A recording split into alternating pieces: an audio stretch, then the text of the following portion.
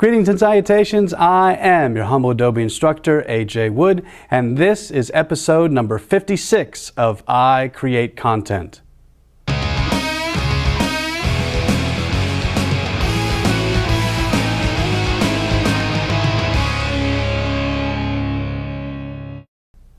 Hey everyone, appreciate you tuning in to today's show. If you caught our last episode, we were taking a look at a quick tip using the Navigator panel inside of Photoshop. Today I'm going to show you how to quickly open a RAW file directly inside of Photoshop. Let's go ahead and take a look.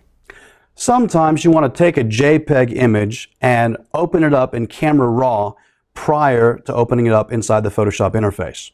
And what we would typically do is right click on that image inside a bridge and choose Open in Camera Raw.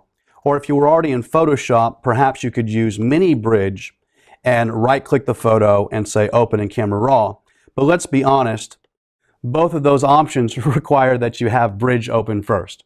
What if you just want to take that image directly from Photoshop, pop it into Camera Raw, and then bring it into the interface? This is a great hidden gem and a cool new part of your workflow. What you're going to do is from Photoshop, choose File Open if you're on an Apple computer, or if you're on a Windows PC, you want to choose File, then Open As. Once you grab that command, it's going to let you choose the image, and then here's the key thing. You want to actually select Camera Raw. Now, don't make the mistake of selecting Photoshop RAW. Just select Camera Raw and click on Open. And now that JPEG is going into Camera Raw first. Why Camera Raw? Because we could do cool things like recover our highlights, we could add some blacks, any other adjustments that are really great inside the Camera Raw interface prior to opening that image. So this is a hidden gem inside of Photoshop. My name's AJ Wood. If the tip helped you out, give it a thumbs up, like it on Facebook, and I'll see you around next time.